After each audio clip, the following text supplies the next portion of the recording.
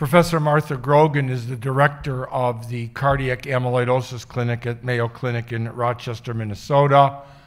Uh, she has a very long, deep experience in the management of the disease and was the first to describe what physicians use as the staging system, the way in which we gauge the prognosis and try to assess the outcome of this disease. And she'll be talking to us about some of the imaging we use to diagnose it, as well as some of the blood test markers that help us understand the severity. Dr. Grogan. Thanks, Morie, and thanks, Muriel, for having me. Uh, again, so exciting to see a lot of people from uh, previous meetings and a lot of new people. It's kind of like a reunion here. Morie mentioned we're going to have a lot of time for questions, so remember the only dumb question is the one that you don't ask. And these meetings are so important to us because we learn so much from you. You are truly the experts in this disease. That's why almost our whole research team is here. Now, I was thinking of doing something really, really brave, and that would be to not do what Muriel told me to do. However, Steve Finkel took me aside last night and said, don't do it, don't do it, you know. But I, I did do one little thing. We're really not going to talk about imaging because there's so much imaging to come with the others. So many of you know, I don't have to tell you that getting the diagnosis of ATTR amyloidosis for many people is like getting struck by lightning. And that's why we're all here to give you the knowledge that you really need to know to battle uh, this disease. And we'll just briefly review the heart. Your heart has four chambers. The upper chambers are the collecting chambers, the atria, and the lower chambers are the ventricles. They're the ones that are pumping the blood around your body. And it's pretty amazing. Your heart is about the size of your fist in the left side of your chest it actually pumps a total of 2,000 gallons of blood a day. So it's kind of amazing that more things don't go wrong with it. Two and a half billion uh, heartbeats in your lifetime. So you'll see the blue blood comes back to the heart. Uh, it's low in oxygen, and then it goes through the valves, so and then gets pumped out to the lungs. So in your lungs, now the blood picks up oxygen, so it's red blood. So that's why your heart is divided into the chambers, and you see those valves that are just keeping your blood going in the right direction. Well, what happens um, when the heart gets amyloid in the heart? So amyloid fibrils get in between the muscle cells of the heart. So you have millions of cells in your heart that are all beating, contracting, shortening. That's what's making your heart pump.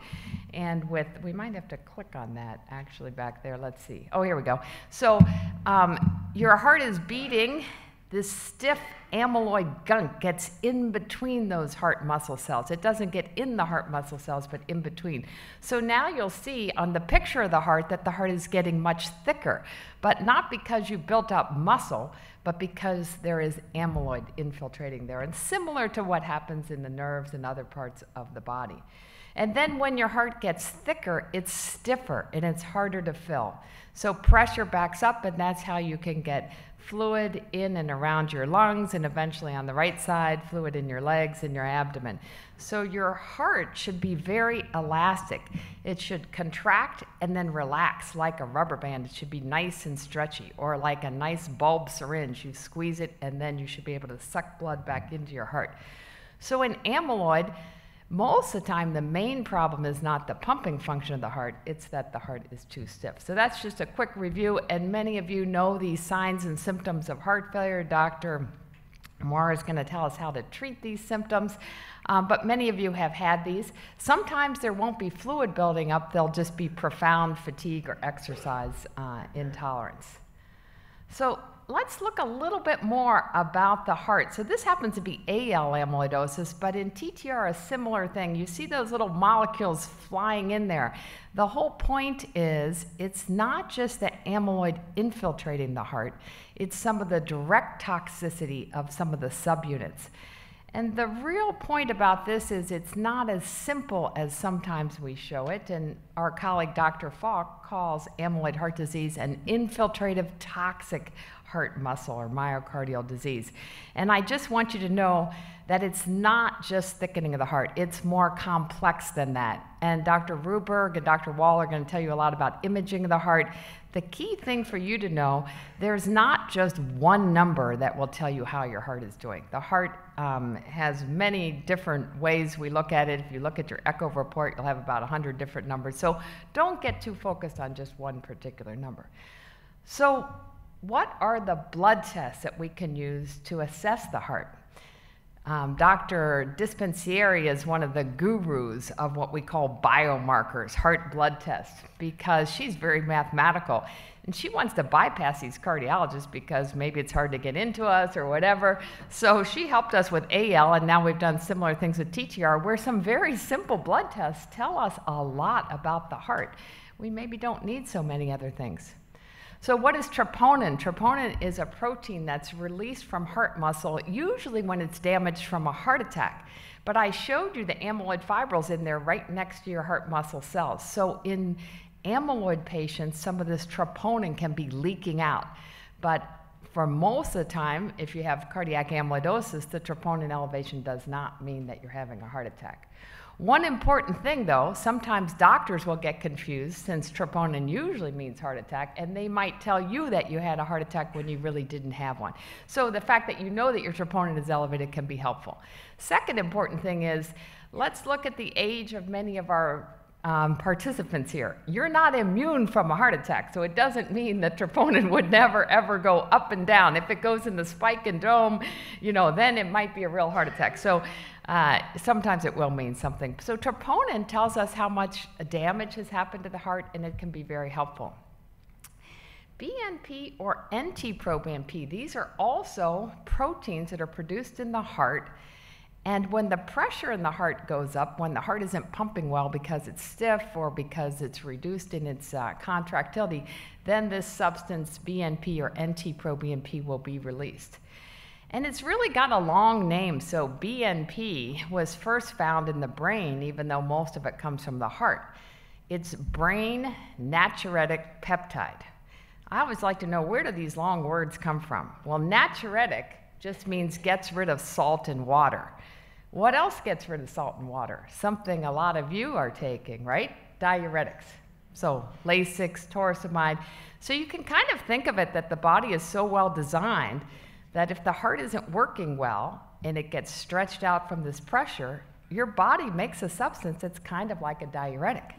But in the blood, we're going to see more of this substance because that whole system is revved up. So it gives us an idea of, of how much pressure or how much heart failure you might be having. But it can vary quite a bit, about 40% in a week, even if the patient's stable. So we are looking for big trends, not just a single number with this BNP and is similar to um, troponin as well. Then prealbumin is transthyretin. So um, that is another way of um, kind of assessing the stability of the TTR. It's not a direct way, but kind of indirect.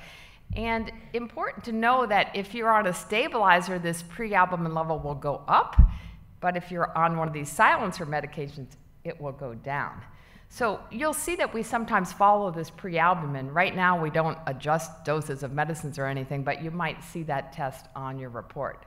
And right now, from what I just told you, you already know more about cardio, cardiac biomarkers than almost all of your doctors.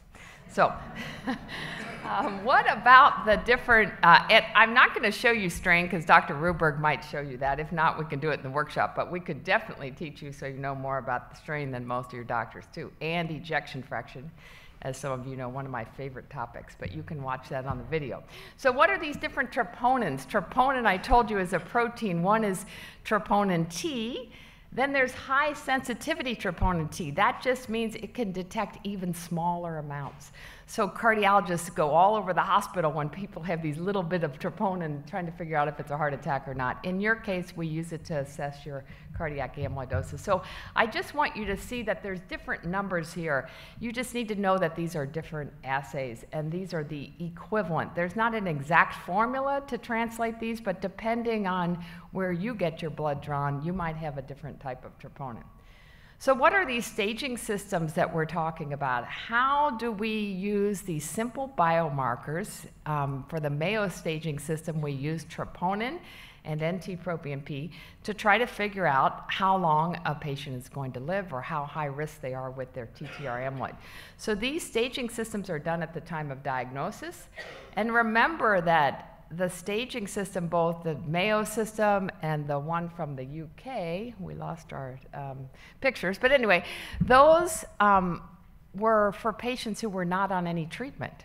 So these are just um, patients with natural history before we had the medications. But it still gives us an idea of how high a risk are you. So the bottom line, we don't need pictures, you can get by without pictures, is that uh, we developed this simple staging system.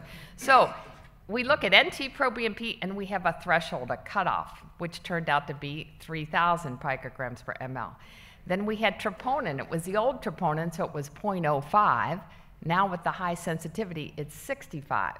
And then we divided patients who had wild type TTR in the case of our um, staging system. If both of the numbers were low, the patients lived the longest, you know, five or six years. This is people without any treatment.